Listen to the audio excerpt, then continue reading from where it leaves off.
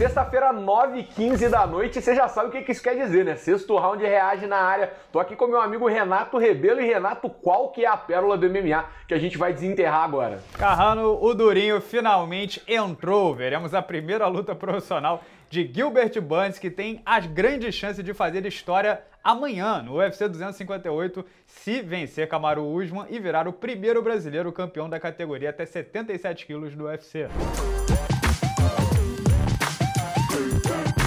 E Renato, o adversário do Durinho é o Jaime El Maníaco Sanchez. Ele também estava 0-0 no MMA, os dois estavam estreando nesse dia. Categoria ó a cara, ó a cara de, de olho parado, Carrano. Esse é o que bica o Gatorade, hein? Ele tem cara de quem bica o Gatorade. Os dois estavam fazendo a estreia nesse evento que é o, o Sin City Fights, né, em Las Vegas, que aconteceu lá na cidade do pecado nos Estados Unidos. O Durinho e o Sanches se enfrentaram numa luta amadora, Renato, e muita gente pode falar, pô, mas essa luta não tá no Sherdog, não tá no Tapology, é porque ela foi feita com umas regras misturadas, não é aquela regra da MMF, aquela que a gente conhece com caneleira, capacete, mas os rounds são de 3 minutos, tem algumas coisas diferentes nas regras, então tá aí os dois fazendo a sua estreia no MMA amador, Renato.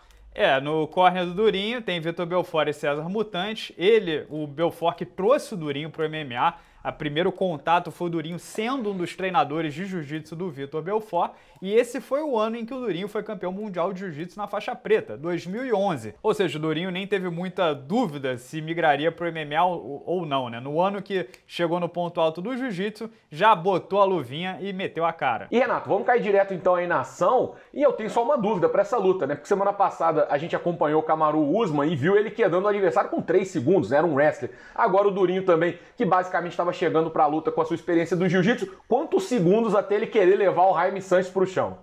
É, o Durinho sempre teve uma mão pesada, né, desde o inicinho, mas não vai demorar muito também, até porque eu lembro uma entrevista maravilhosa do Vitor Belfort nesse início, dizendo que depois dos primeiros treinos ele não era durinho, ele era durão.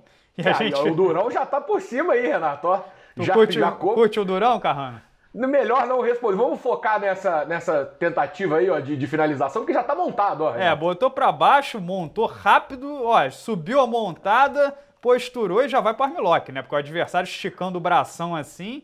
É, pedindo. Pô, pedindo, né? Agora, olha que defesa maravilhosa desse armlock, Carrano, por favor. Olha, ele vem, primeiro faz a defesa certinho, depois faz a defesa revolucionária, que é socar o próprio braço, Renato. Você que é um experiente aí, atleta do jiu-jitsu, treinou muito tempo. Deu certo funcionou. aí. Funcionou. Só quem, os lutadores de jiu-jitsu, só quem seus próprios braços quando o armlock estiver encaixado. Mas Durinho saiu, trabalha na meia, né? Tentando. Primeiro parece que ele vai numa americana, mas aí ele lembra de novo que ele pode bater, né? Não é uma luta só de jiu-jitsu. Nessa primeira experiência com o MMA, o Durinho às vezes tem esses lapsos. E agora encaixa o Katagatame, que parece bem justinho foi para montada, perdeu a pressão, voltou a bater. Parece que vai ser o fim, mas o final do round aí salva a vida do garotão, Carrano. Salvo pelo gongo, hein? O Sanches estava tava realmente numa situação complicada, foi de montada em montada, né? O round inteiro até ser salvo pelo gongo. Começa aí o segundo round, vamos ver quanto tempo vai levar pro Durinho botar essa luta no chão de novo.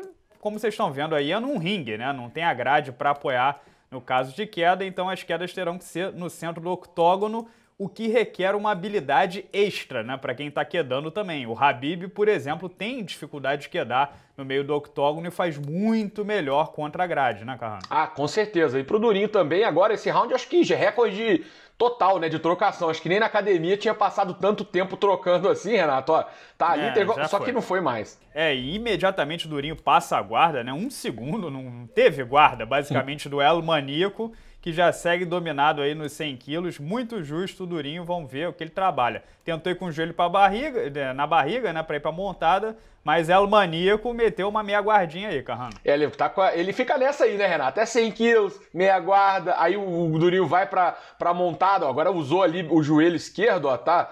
Segurou. E agora, rapaz, agora se complicou. E o Durinho mais uma vez lembrou que pode bater também, isso é muito importante. E tá indo aí mais um monólogo, né, no segundo round. E vai pra montada direto, com muita facilidade. É o maníaco não é do ramo, né?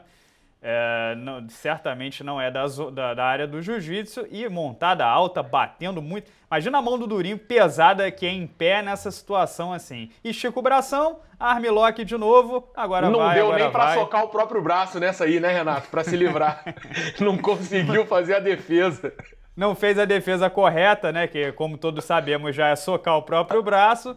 É, tava apanhando muito, no desespero esticou o bração como se tivesse no, numa micareta em Salvador e o Durinho só foi lá e esticou o braço. Primeira vitória amadora, né? Que não vale no Sherdog. Mas uma boa vitória do, do, do, Gilbert Durinho, né? Mostrou realmente a diferença de um cara que tem uma preparação de artista marcial para um atleta que, olha, meteram um rewind ali na câmera, você viu que beleza? olha, repare que o treinador do El Manico levanta o braço dele, ó. É, isso aqui é um apoio psicológico e moral de que você foi o campeão, não importa o que os outros digam é, você é um grande vencedor, né, Carrano? E, ô Renato, triste que o pessoal do, do Durinho não tá fazendo isso, né? O Vitor, a galera dele não, não, levantou o braço. Ou seja, se os árbitros não viram a luta, só viram esse momento, é perigoso darem a vitória pro El Maníaco e deixarem o Durinho sem essa primeira vitória dele amadora, Renato. É, e você vê que o Durinho tem o braço levantado, mas a gente vai ver na sequência aí que El Maníaco recebe uma medalha de participação também.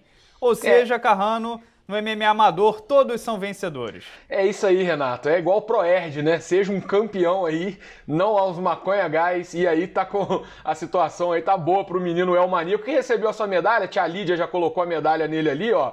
Gilbert Burns felizão com Vitor, Mutante. E o César Mutante, que vai estar em 2021 no GP dos meio pesados da PFL, Carrano, lutando por um milhão de dólares.